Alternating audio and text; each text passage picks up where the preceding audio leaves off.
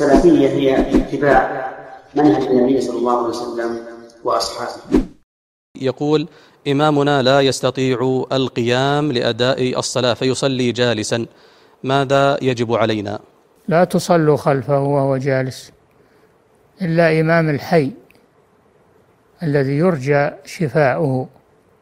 إمام الحي الذي يرجى شفاؤه يجوز أن يصلي جالسا وهم واقفون خلفه كما فعل الصحابة خلف الرسول صلى الله عليه وسلم لما صلى بهم في مرضه وهو جالس عليه الصلاة والسلام. نعم. بشرطين أن يكون هو إمام الحي وأن يكون يرجى شفاؤه. نعم. أنا سلفي على الكتاب والسنة وعلى منهج السلف الصالح.